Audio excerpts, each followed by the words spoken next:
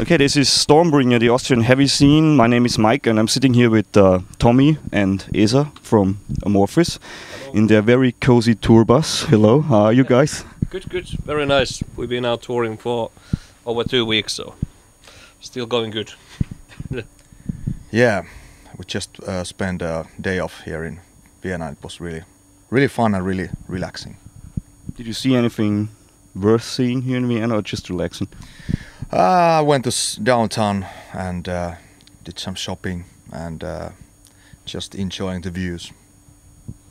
Yeah, that's what you ought to do. Yeah. Because otherwise you don't survive a tour. um, you got a new record out. It's not so new, but it's just yeah a few months old now. It's called uh, "The Beginning of Times," and it's the tenth album of yours, and it's once more uh, revolving around the Kalevala. Mm which is a Finnish national epic. Uh, could you tell me a bit more about that? Because people who aren't Finnish don't can mm. imagine what this is like. Well, it's uh, a book about old traditions and beliefs, how people used to believe in Finland, and for Finnish people, it's usually uh, is introduced in school because it uh, it has a great history about the Finnish written language. The person who compiled the book, he was uh, he was one of the creators of Finnish written language, how it is nowadays. So it's a bit boring and, and associated associated as a very boring boring topic if you talk with Finnish people about Kalevala. But um, you know, we took the book back in the early days, uh, you know, just influetic thing for our for our lyrics, and with uh, with Tales from a Thousand Lakes, we actually took straight the lyrics out from Kalevala, little stories from there and there, and really didn't thought that much. You know, we thought that you know it fits the music, and and and for us it was interesting mythological themes.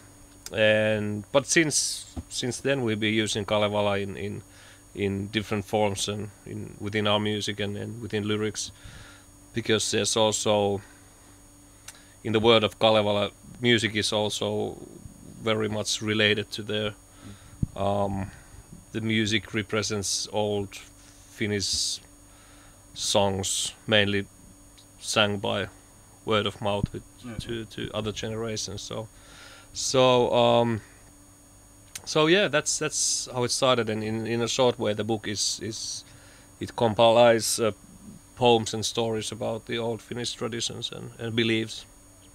And on your website, you were asked to, um, yeah, to state uh, a character out of this book. How do how did you to choose your characters out of this book?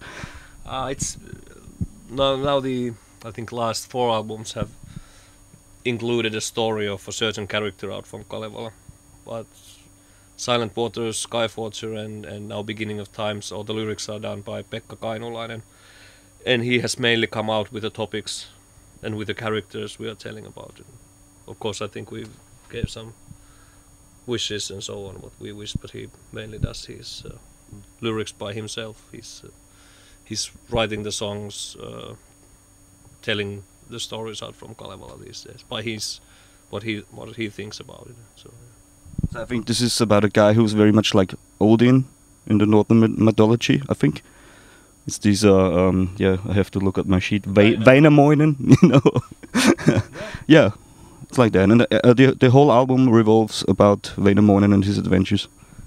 Yeah, it's like uh, small stories about his life, and uh, he's he's the main character of the book, and uh, he's a really powerful guy.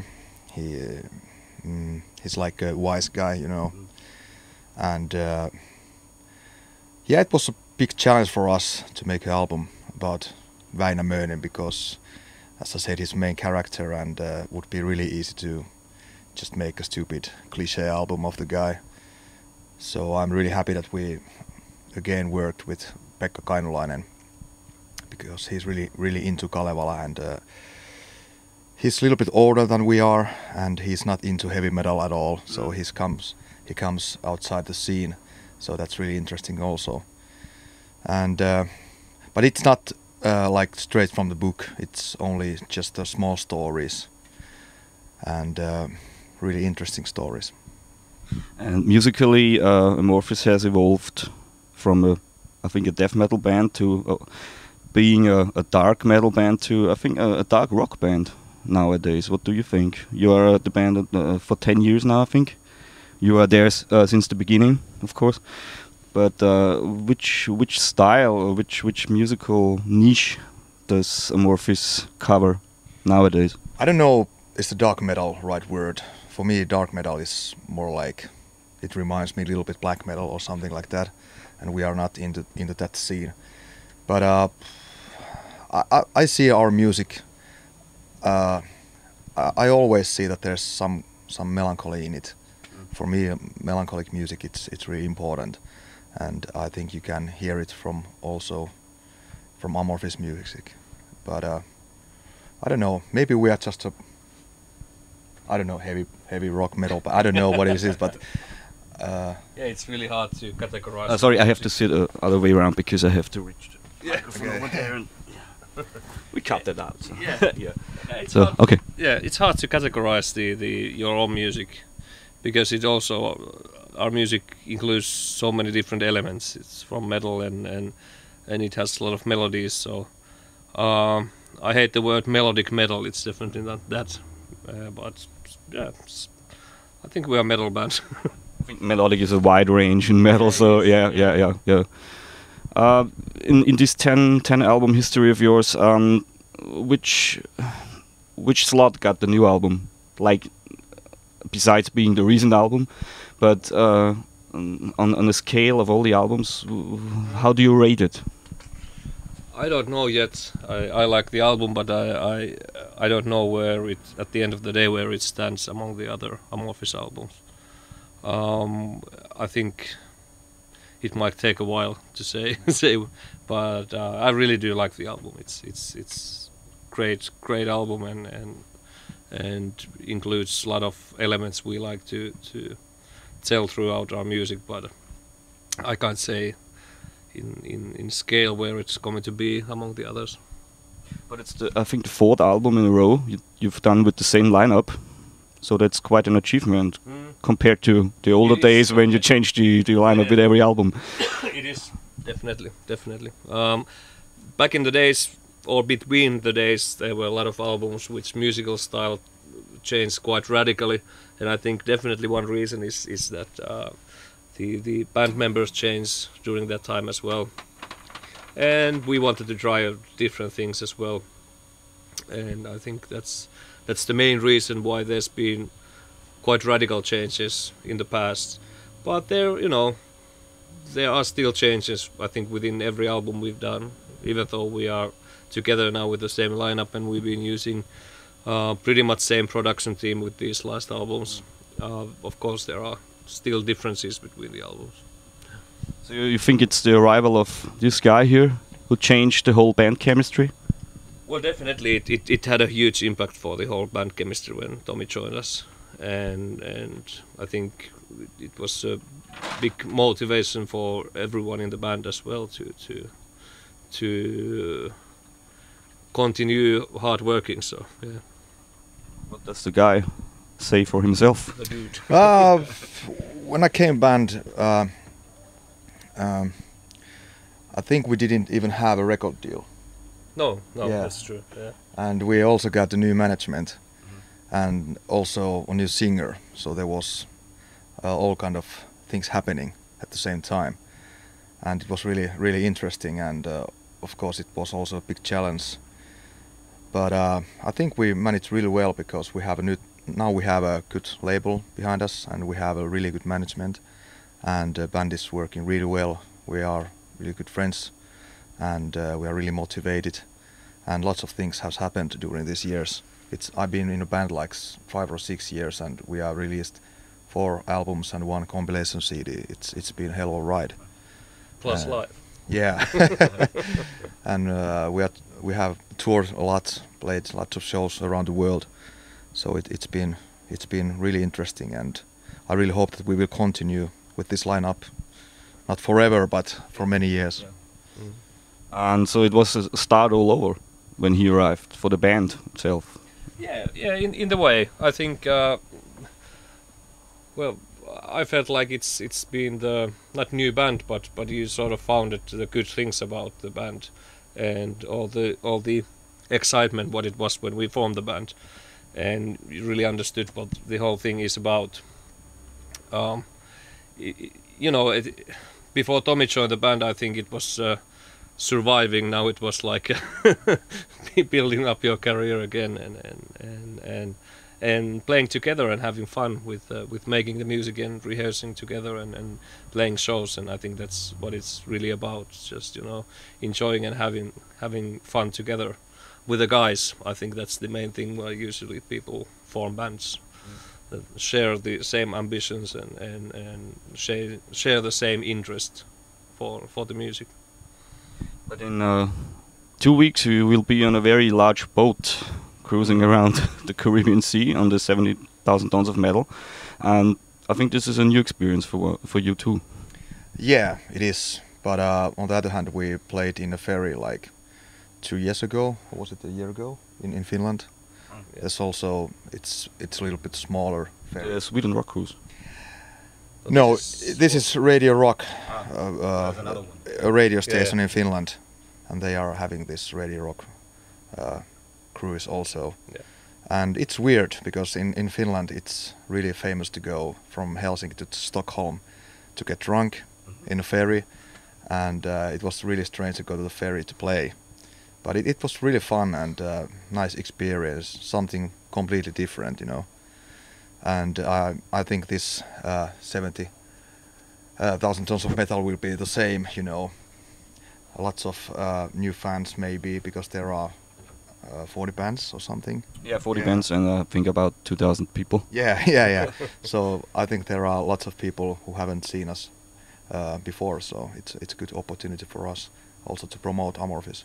But you know, there is no backstage area. You're just running into the fans every few meters there. You are aware of that. Can we cancel? no, you can go to your cabin. yeah. Uh, yeah, but I think it's it's gonna be, you know, this idea is so stupid to bring metalheads to the cruise. It's so stupid that it has to work, you know. I think it worked once. Yeah, yeah. So, and there were Saxon and everything. So Yeah. yeah. There wa- It was, you know, the the cruise we did in Finland. I was basically, I think the idea is same. You know, there's uh, there was no back, real backstage there, so you know you you go there and, and no, it's great. You know, you can hang around and meet meet some fans and and I think you know it ha- it has to work. Everybody who's been on that ship or, or the bands and so on, they only say that it's good, really good, great fun. So I think the people paid very lo- very lots of money to Yeah. be on the boat, so they are not the people which hop on you right away when they see you. I think. well, we'll see. Um, hopefully, there's some safe boats to, to sail away if it gets too hot. I, I like this idea because sometimes some people they are taking music business or heavy metal uh, business too serious, you know. Mm. And this is like, I like this because you can see some metalheads wearing some Hawaiian shirts and shit like that.